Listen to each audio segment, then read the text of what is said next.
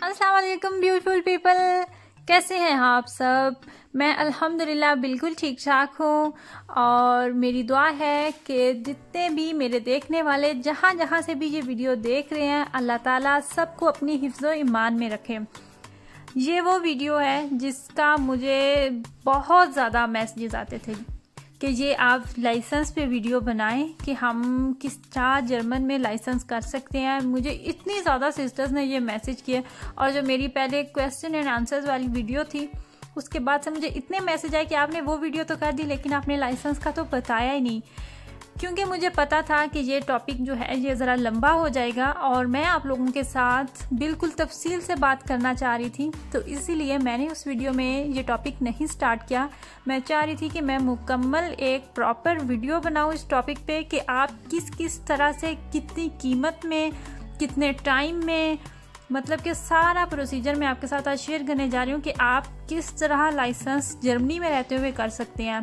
और इटली में जो सिस्टर्स हैं जो कि मेरी ये वीडियो इटली से देख रही हैं। इटली का भी तकरीबन सेम ही है प्रोसेस जिस तरह का यहाँ जर्मन में है। तो आपने ये मेरी वीडियो पूरी तरह देखनी है। आपने ये वीडियो बिल्कुल भी स्किप नहीं करनी। इसमें मैं आपको वो तमाम इन्फॉर्मेशन दे दूँगी जो कि मेरे पास थी और जो कि मेरे पास नहीं थी, वो भी मैंने कहीं ना कहीं से सारी ले ली है, सिर्फ़ आप लोगों के लिए। और मैं आपको अभी यहाँ पे बता दूँ कि इस वीडियो के लास्ट में मैंने पिक्चर भी एक आप लोगों के साथ शेयर किया है। उस पर तकरीबन सारी जो प्राइसेस हैं थ्योरी की कितनी होती है, फिर जब बाद में जब आप फास्ट डे के लिए हम जाते हैं, उसकी कितनी प्राइस होती है और जैसे जैसे आप मेल्डूम करवाते हैं तो वो सारी उसकी जो प्राइस है, वो वहाँ पर मैंशन है। अच्छा जी, अब आते हैं कि ड्राइविंग लाइसेंस आप किस तरह जर्मनी में कर सकते हैं। सबसे पहले आपने इसकी रजिस्ट्रेशन करवानी होती है। आपके नज़दीक कोई भी ड्राइविंग स्कूल है, आप वहाँ पे चले जाएँ। ड्राइविंग स्कूल भी यहाँ पे डिफरेंट होते हैं। कुछ ड्राइविंग स्कूल होते हैं, वो यहाँ पे एक्सपेंसिव है और कुछ हैं जिनकी प्राइस जो है वो नॉर्मल है। उसके बाद आपने कुछ फ़ीस देनी होती है, जो आप रजिस्ट्रेशन जब करवाते हैं, वो ज़्यादा नहीं है। उसके बाद फिर आप आपको वो एप्लीकेशन देते हैं जो कि आपने बाय करनी होती है या फिर वो स्कूल की एप्लीकेशन होती है। वो आप एप्लीकेशन लेके आते हैं। छः माह का आपके पास टाइम होता है। आप चाहें तो वो छः माह घर में पढ़ लें, घर में तैयारी कर लें, या आप चाहें तो आप स्कूल में क्लासेस लेते रहें।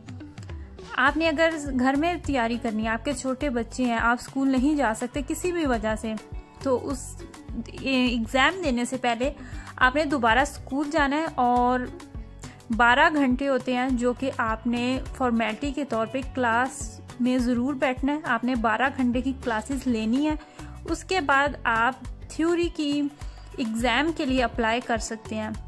लेकिन उससे पहले 12 घंटे थ्योरी के लिए फ्लिस्ट है मस्ट है, वो आपने करने ही करने हैं। उसके अलावा जो इसकी क्लासेस होती हैं थ्योरी की वो वीक में तीन दफ़ा आपने जाना होता है, वो सेकंड टाइम भी हो सकती है फ़र्स्ट टाइम भी हो सकती है। और जो इसका एक घंटा है, वो नब्बे मिनट का काउंट किया जाता है। मतलब कि आपको चौदह पंद्रह दिन जो है, वो स्कूल में जाना पड़ेगा। फिर आपका जब एग्ज़ाम होता है, आपके एग्ज़ाम में थर्टी सवाल आते हैं। तीस सवाल आते हैं, उनमें से आपकी तैयारी इतनी होनी होनी चाहिए कि आपका कोई भी क्वेश्चन जो है, वो रॉन्ग नहीं हो। मैं यहाँ पे आपको ये बात एग्जैक्टली नहीं बता सकूँगी कि आपने कितनी गलतियाँ करनी है, क्योंकि एक सवाल के पाँच भी पॉइंट होते हैं और दो भी पॉइंट होते हैं।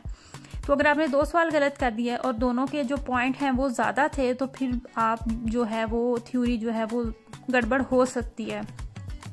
मैं आपको बिल्कुल भी डीमोटिवेट नहीं करना चाहूँगी। थ्योरी जो है वो आप जितनी दफ़ा चाहें उसका एग्ज़ाम दे सकते हैं। अगर बदकिस्मती से आपने वो पहली दफ़ा में नहीं पास की। उसके अलावा यहाँ पे बहुत सारे लैंग्वेज के ऑप्शंस हैं। हमें क्या काम देता है ऑप्शन वो यही है कि आप या तो जर्मन में कर लें या फिर आप इंग्लिश में कर लें। आपकी इंग्लिश अच्छी है तो आप इंग्लिश में जाएँ। अगर आपकी जर्मन आपको लगता है अच्छी है तो आप जर्मन में कर लें। अगर तो आपने जर्मन लैंग्वेज कोर्स जो है, वो बेस वाई लेवल तक किया हुआ है तो फिर आप आराम से जो थ्योरी है वो कर सकते हैं। और लाइसेंस की इतनी ज़्यादा सहूलत होती है, कितनी सहूलत होती है, आप यही देख लें कि मैं अब अपनी फैमिली को, अपने बच्चे जो है, वो खुद से पार्क में लेके जा रही हूँ। फिर इसी तरह आप भी सड़कों पे गाड़ी भगा सकेंगे। क्योंकि लाइसेंस जो है ना, जब मैंने किया था ना लाइसेंस आप यकीन करें, कुछ दिन मुझे ऐसे लगा था जैसे किसी चीज़ को पर लग जाते हैं कि मुझे यकीन ही नहीं आता था स्टार्ट में कि मेरे पास गाड़ी है या मैं अब जहाँ चाहूँ, मैं जा सकती हूँ। और इसी तरह होता है। लाइसेंस के बगैर यहाँ पे एक तरह का नामुमकिन सा हो जाता है। बच्चों को स्कूल लेना, छोड़ना हस्बैंड काम पे होते हैं। और बिल्कुल सेम ऐसे ही कि जैसे आपके हस्बैंड को खाना बनाना आता है और आपको कोई टेंशन नहीं होती। आराम से, चलो जी, आज का लंच तो हस्बैंड बनाएँगे। और जिनके हस्बैंड इस मामले में ज़ीरो होते हैं तो वो फिर उन, उन्हें सारी ज़िंदगी ये फिर शौक ही रहता है कि काश मेरे हस्बैंड भी मेरे लिए मज़ेदार सा लंच तैयार करें। और इस मामले में मैं ना थोड़ी सी, क्या मैं कहूँ कि मेरे हस्बैंड को बिल्कुल भी खाना बनाना नहीं आता। अच्छा यहाँ पे मैं अब अपने हस्बैंड की बुराई हो उन हस्बैंड की बुराई नहीं करने जा रही जो कि कुकिंग के मामले में ज़ीरो तो हम दोबारा से आते हैं अपने टॉपिक की तरफ़। अच्छा ये मैंने थोड़ी सी क्लिप ऐड किया कि मैं कहाँ पे अपने बच्चों को लेके आई थी। अच्छा जी, जब आपकी थ्योरी पास हो जाती है, आप एग्ज़ाम में पास हो जाते हैं तो उसके बाद सिक्स मंथ होते हैं, उनके अंदर अंदर आपने ड्राइविंग सीखनी होती है टीचर के साथ। असल जो कॉस्ट है ना लाइसेंस की, वो तभी स्टार्ट होती है जब आप ड्राइविंग के लिए जाते हैं। जो ड्राइविंग के घंटे आप लगाते हैं ना, पैंतालीस मिनट का एक घंटा वो काउंट किया जाता है। एक्चुअली में जो एक्सपेंसिव होते हैं ना, वो तभी स्टार्ट होते हैं जब आप ड्राइविंग के लिए जाते हैं। अगर तो आपको ऑलरेडी ड्राइविंग आती है, आप बड़े अच्छे तरीके से ड्राइव कर सकते हो। इसके बावजूद आपने 12 घंटे जो हैं, वो फ्लिश्ड हैं, वो मस्ट हैं, वो आपने टीचर के साथ बैठ के करने ही करने हैं। उनमें से जो चार घंटे हैं, वो आपने ऑटोबान यानी कि मोटरवे आप कह लें, आपने वहाँ पे करने हैं। और तीन घंटे जो हैं, वो आपने रात के अंधेरे में टीचर के साथ बैठ के करने हैं। और बाकी के जो घंटे हैं, वो छोटे रोड्स और विलेजेस होती हैं तो वहाँ पे वो आपने गाड़ी टीचर के साथ बैठ के चलानी है। हर ड्राइविंग स्कूल का अपना रेट होता है। मैं आपको अप्रॉक्सीमेटली बताऊँ, कुछ ड्राइविंग स्कूल 50 यूरो काउंट करते हैं पर घंटा और कुछ ड्राइविंग स्कूल जो है वो 45 यूरो काउंट करते हैं पर घंटा।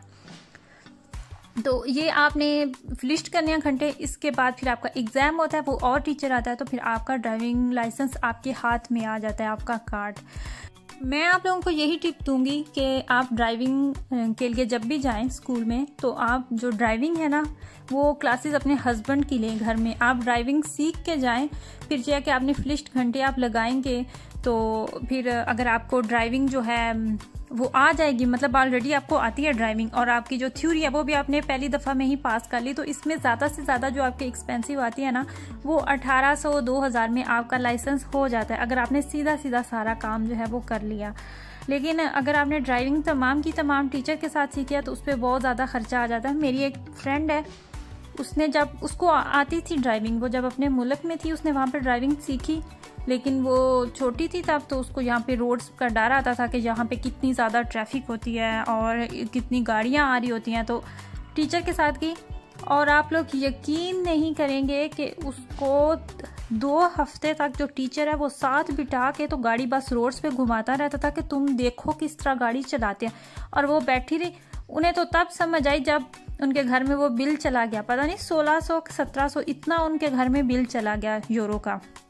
तो तब उसके हस्बैंड ने बात किया कि तो ये इतने दिन हो गया तो अभी तक इसको गाड़ी जो है वो आपने स्टार्ट तक नहीं करवाई इससे। तो फिर बाद में जी उसने वो फिर अपने हस्बैंड के साथ भी क्लासेस लेती रही, घर में भी सीखती रही तो फिर बाद में वो स्कूल में भी सीखती रही। मैंने जो गाड़ी चलाना सीखी है ना, वो एक्चुअली मेरे हस्बैंड ही मेरे टीचर थे। मैंने अपने हस्बैंड के साथ गाड़ी चलाना सीखी है। अभी आप जो मुझे देख रहे हैं ये इसके पीछे सिर्फ़ एक ही हाथ है और वो है मेरे हस्बैंड का। उन्होंने मुझे इस काबिल बनाया कि मैं गाड़ी जो है वो सड़क पे इतना नडर होके चला रही हूँ।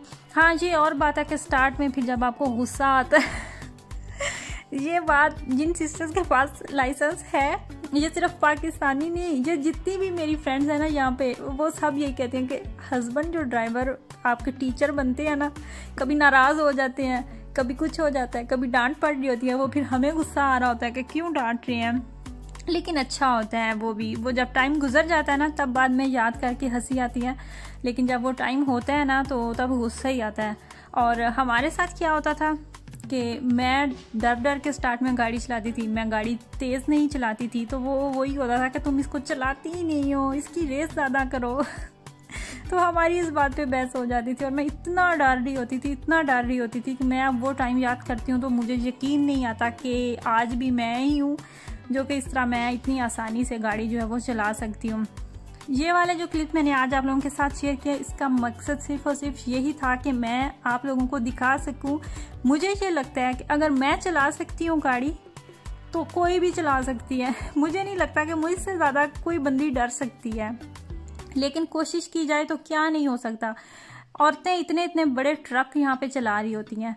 मैं आपको यही कहूँगी कि ज़रूर जाएँ, लाइसेंस ज़रूर ज़रूर करें। ये यहाँ की सबसे बड़ी ज़रूरत है।